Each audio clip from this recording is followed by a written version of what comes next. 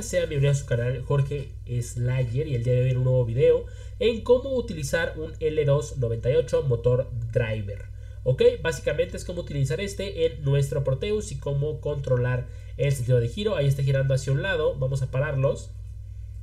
Ahí está, y ahora vamos a hacer que gire hacia el otro lado. Ahí está girando hacia un lado y ahí está girando hacia el otro lado, ¿ok?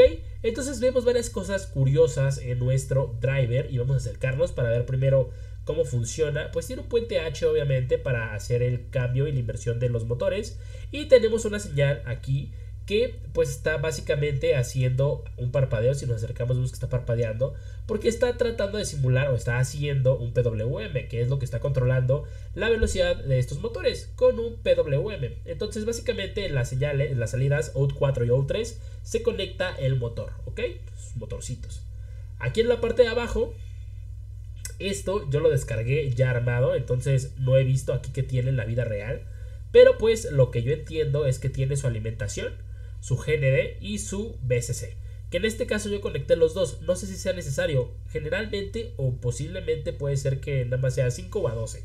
Pero pues eso no lo chequé porque solo lo he conectado pues de forma virtual. No lo he comprado todavía este driver para decirles qué tal está esa parte. Pero creo que nada más es a 5 o a 12. Y me imagino que va a ser el voltaje que se va a los motores. Eh, dudo mucho que se tenga que conectar dos alimentaciones. No lo creo. Pero pues bueno. Esta es la parte de la alimentación y aquí está la parte de control que tenemos ENA1 que es para controlar eh, la velocidad de un motor y ENB2. Bueno, ENB que controla el segundo motor y ENA que controla el primer motor.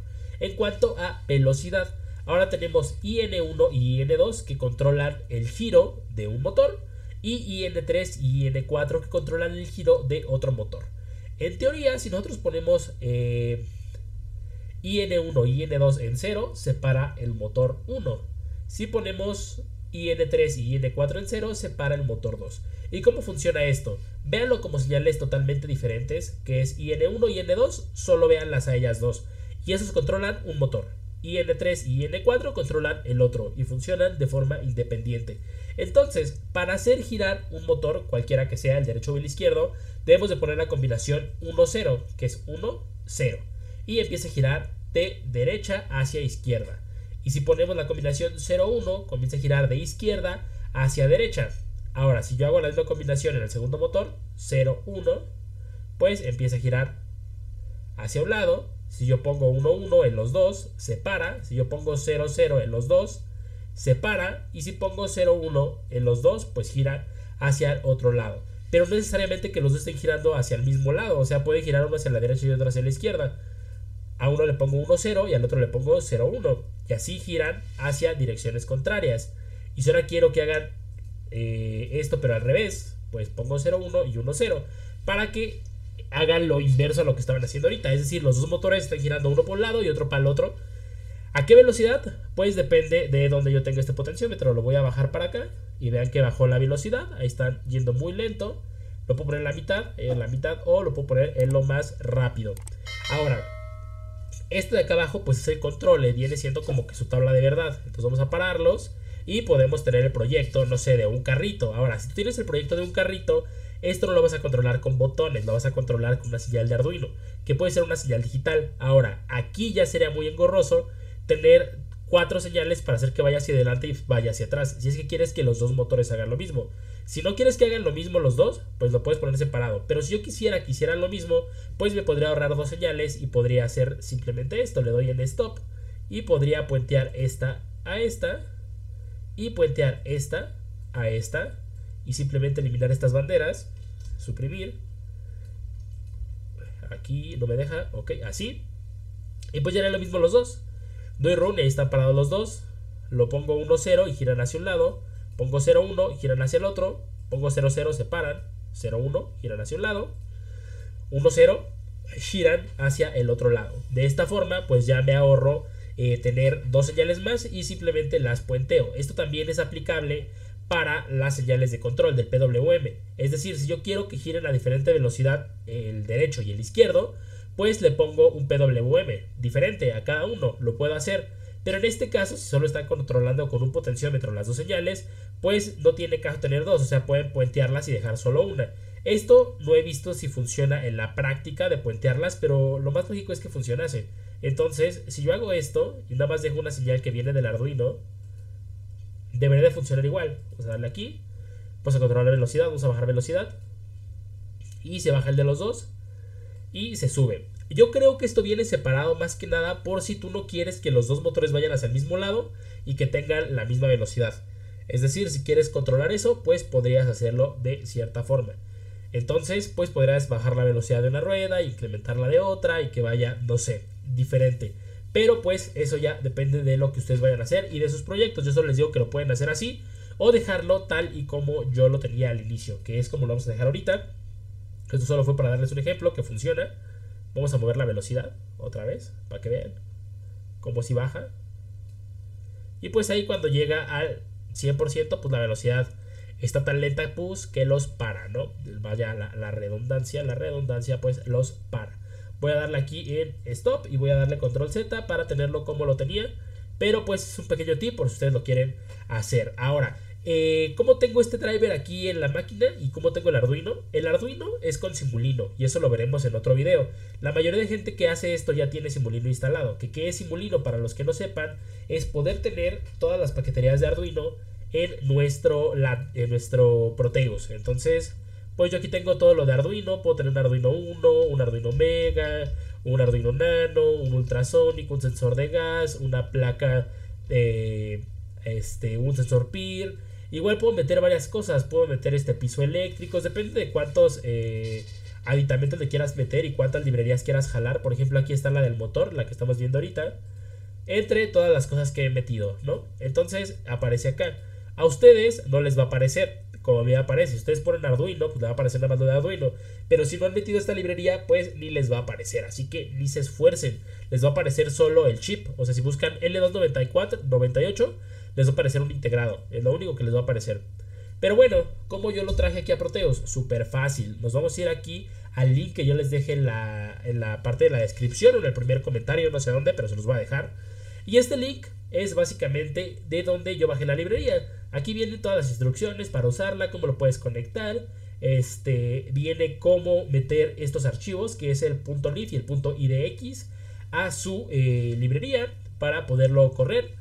Y también viene este, pues cómo se ve y cómo agregarlo. O sea, viene todo, ¿no? Explicado. Cualquier cosa que tengan duda, aquí viene cómo hacerlo.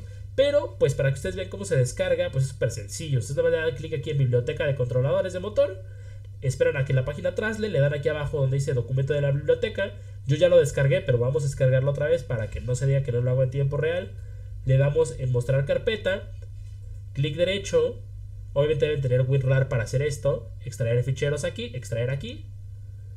Le doy que sí a todo porque pues obviamente ya lo tengo descomprimido y me lo volvió a descomprimir y pues lo estoy reemplazando. Y me aparecen estas dos carpetas. ¿Ok? Que las tenemos que pasar a dónde? A la parte de nuestros, este, nuestras librerías de Proteus. Básicamente lo que dice el documento, el, este, el documento que está aquí, ¿no? Lo leen y pues lo pasan. Esta instrucción que les voy a dar es solo para los que tienen Windows 11.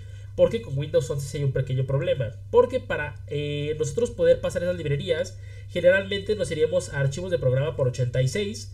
Y aquí en App Center Electronics, aquí estaría la parte de librerías. Pero, pero en Windows 11 no está. En Windows 11 es un poco diferente. ¿Por qué? Porque a alguien se le ocurrió separar las carpetas de Program Data y hacerlo esto, encarpetarlo diferente. No, al menos a mí no me ha pasado con Windows 10 ni con Windows 8, solo con Windows 11. Si a ustedes no les pasó y les corre normal, pues no hay problema. Pero ustedes son a los que no les aparecen las carpetas o no saben dónde meter los drivers, pues simplemente hagan esto. Le dan aquí en Windows 11 ver, en mostrar. Y cuando ustedes no tienen activada la opción de ver carpetas ocultas, pues no aparece nada, ¿verdad? Usted lo que tienes que darle es aquí en ver, en mostrar y aquí donde está el ojito en elementos ocultos, le dan clic y aparece esta carpeta que es Program Data. Le dan doble clic y aquí aparece la carpeta del Apple Center Electronics, aquí Proteus 8, y aquí ya aparece la carpeta de librerías.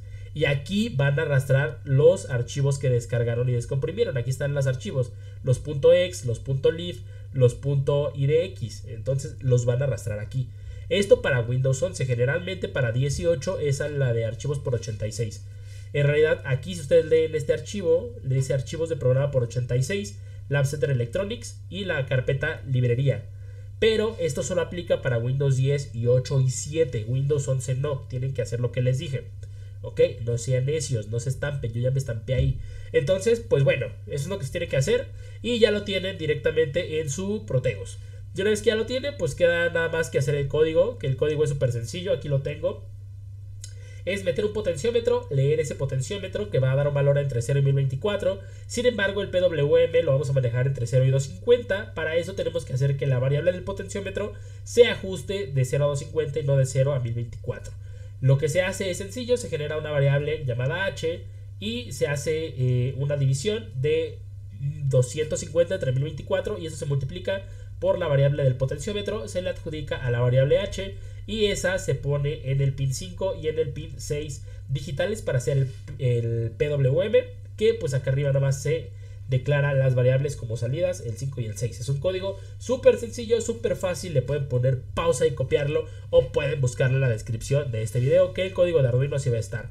Ok, una vez que tienen el código de Arduino, lo corren y acá abajo les va a aparecer esto, se van a ir aquí y van a copiar el punto .exe. Ok, aquí C, user, el punto X. Es el que van a copiar. Hay muchos, pero solo hay un punto X. Entonces lo copian, le dan control C. Para los que digan, es que no me aparece esto, pues bueno, hay que configurar el, Arduino, el Sketch.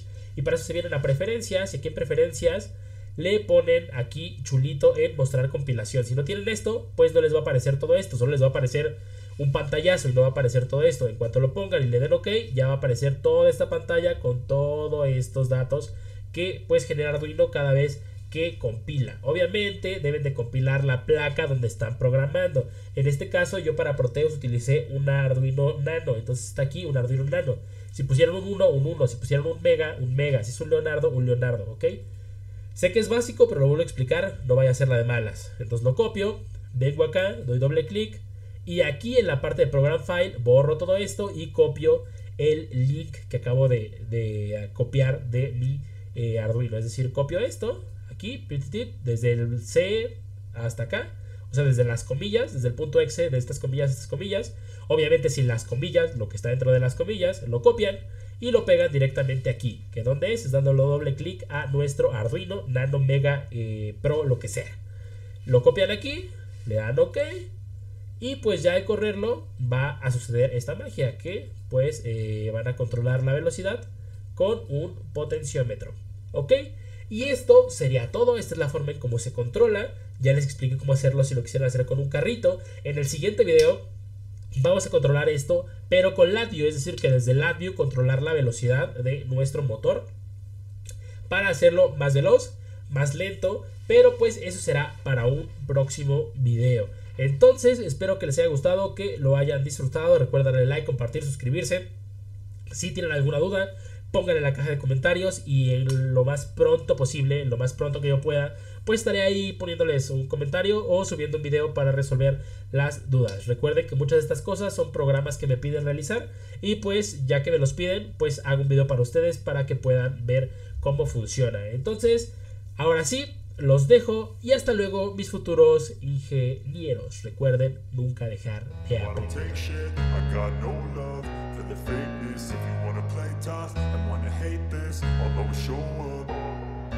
I don't ever slow up, no I don't take shit